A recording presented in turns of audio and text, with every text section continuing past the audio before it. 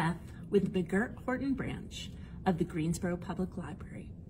I am the Youth Services Librarian here, and I am going to talk about the young adult series Dread Nation by Justina Ireland that starts with the novel Dread Nation and continues with Deathless Divide. Author Justina Ireland has created a historical novel where the war to end slavery never begins.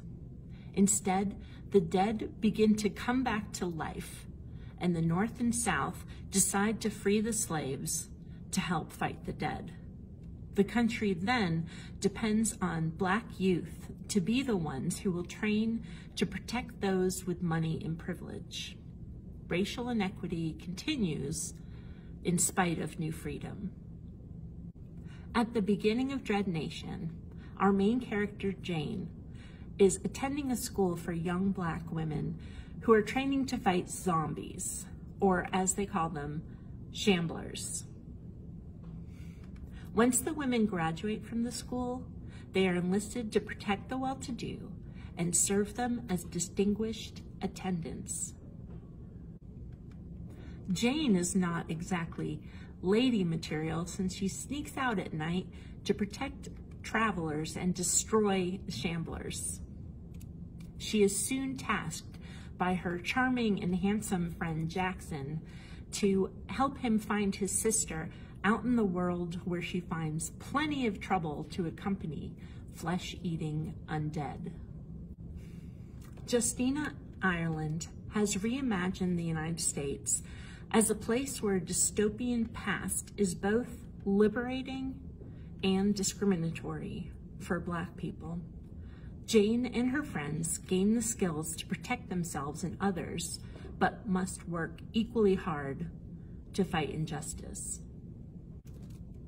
I just finished reading the sequel, and I don't want to tell you too much about it because spoilers, but it kept my interest just as well. There's the history, the combat, the personal conflicts, and the injustice. It's also told from the perspective of two different characters. Now for the twist, Shambler eyeballs. They are easy to make and a delicious treat to serve to your family and friends. You get to eat the Shamblers instead of having them eat you. Tools, a baking pan, parchment paper, an oven preheated to 350 degrees. The ingredients, checkerboard pretzels, white round chocolates, candy-coated chocolates, red sprinkles, and decorative icing. Place parchment paper on baking pan and cover with pretzels. Grab the white chocolate you will be using. Place chocolates on the pretzels. Get your chocolate candies, red sprinkles, and decorative icing ready. Put your pretzels and chocolate in a 350 degree oven for two or three minutes just until soft. Remove from oven. Place a candy on top of each and press down a little. Place a few red sprinkles on top of each. Squeeze a dot of decorative icing in the middle of each chocolate candy.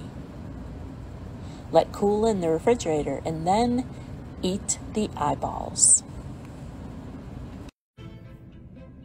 Well, I hope you get a chance to enjoy this series by Justina Ireland. And please enjoy some Shambler eyeballs.